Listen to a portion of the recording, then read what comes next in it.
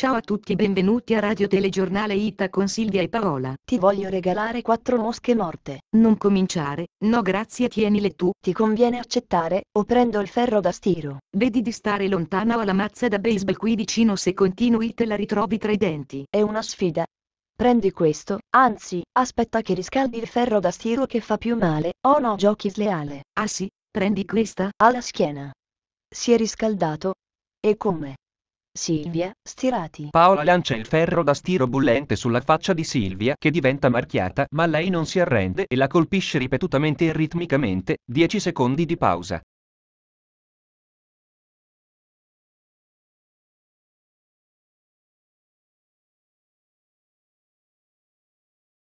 Colpo di scena entra Lara Croft dalla finestra. Paola, dammi il ferro da stiro che devo uccidere Natala. Non mi dispiace, mi serve. No Paola, non ti serve. Daglielo. Dammelo. Ora. Non posso morire, stupida! Ok, è tutto tuo. Neanche un ferro da stiro può fermarmi stupide. Natala, ma sei diabetica? Quel ferro da stiro mi serviva per Sil Tomb Raider perché lo hai fuso? Bene, Paola dov'è la mazza? L'ha rubata Lara. E ora dov'è Lara? È andata un attimo al bagno che gli scappava. Se collaborerete con me avrete vendetta. No grazie ma Lara quanto ci mette? Dobbiamo fare a meno di Lara, dobbiamo indebolirla, mi è venuta un'idea. Paola torna due minuti dopo dalla casa di Silvia con una pistola in mano. Assicurati che soffra. Oh, com'è divertente. E vai prendi questo e questo. Portiamola dal macellaio. Silvia ma ti sembra il momento di comprargli una bistecca? Ma no Paola, pensa. Ah ok ho capito oh sì sì esinatela. Ti portiamo a fare una gita dal macellaio.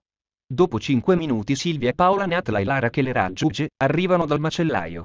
Bene Natala mettiti qui su questa pedana e non fare caso alla scritta attenzione oggetti taglienti.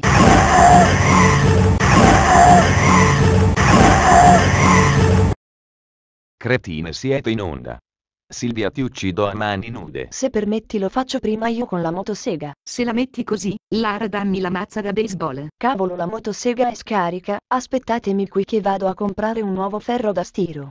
E tutto andò per il meglio, per quanto possa essere meglio con Paola nei paraggi. Luca diamine chiamami Paola. Ma siete tutti malati mentali che non lo riuscite a capire? E poi devo dire io la frase di chiusura. Ciao a tutti carciofi. E ricordate, non lasciate mai da sola una mazza da baseball nella stessa stanza con Lara.